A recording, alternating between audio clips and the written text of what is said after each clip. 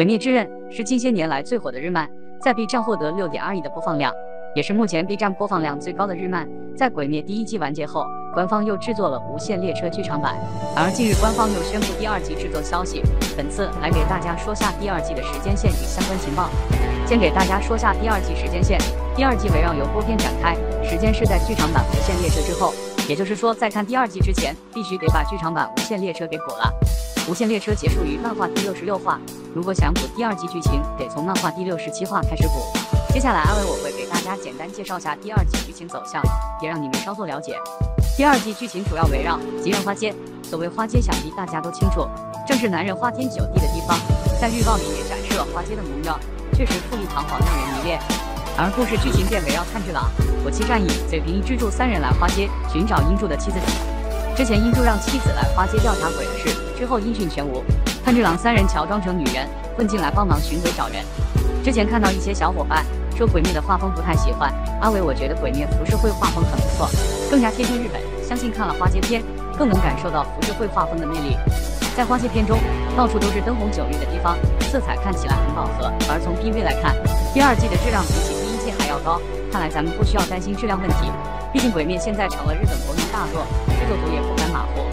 在花街篇里。咱们能看到炭治郎三人女装画面，模样也是很辣眼睛。具体可以去看下漫画。至于里面详细剧情，便不去剧透。在无限列车篇章里，原著里边当了。而在花街篇章里登场的是英柱，那么他与十二鬼月上弦六的战斗如何呢？炭治郎火气善意，嘴平一之助与十二鬼月有着怎样的战斗？让人拭目以待吧。最后简单给大家介绍下第二季登场人物，主角团就不说了。这次出现在花街的是英柱，全名为雨水天元。原先是一名忍者，在动画里雨水天元的设定是拥有三位老婆的男人，这还真让人羡慕。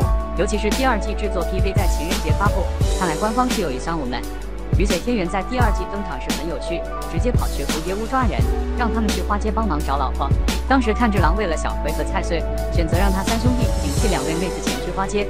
而第二季里的反派便是下面这位看起来有点吓人的花魁，名为过激。他是十二月鬼里的上弦六，他在花街吃了不少人，实力不容多说。炭治郎三人混入花街后，三人分别在可疑的店里工作，其中一人还在舵姬所在的地方打杂。至于在发现舵姬身份后有着怎样的遭遇，阿伟我就不去剧透了，开播后就能清楚剧情是怎样发展的。另外，从官方公布的 PV 来看，第二季将在二零二一年播出，也就是今年。之前第一季是四月，剧场版是十月，至于第二季可能七月或十月吧，具体等官方通知。